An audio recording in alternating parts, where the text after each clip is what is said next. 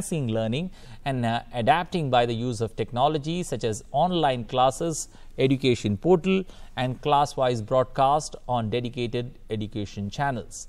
The focus was on bringing uniformity in education, providing universal access to quality education, improving the quality of elementary education through a new national curriculum framework that focuses on multilinguistic 21st century skills, integration of sport and art, environmental issues, etc.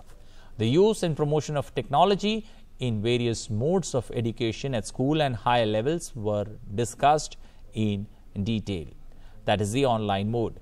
TV channels, radio, podcasts, etc. were also discussed, reforming the higher education scenario by making Indian education system at par with the highest global standards, making education effective, uh, inclusive, contemporary, rooted in the Indian culture and ethos. Overall, the emphasis was given on early childhood care and education, foundational literacy and uh, numeracy, adapting contemporary pedagogy and preserving the cultural and linguistic diversity of India with a special focus on early vocationalization of education.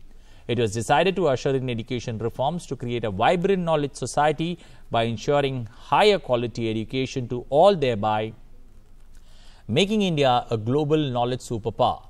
To achieve all these goals and to ensure efficient educational governance, extensive use of technology including artificial intelligence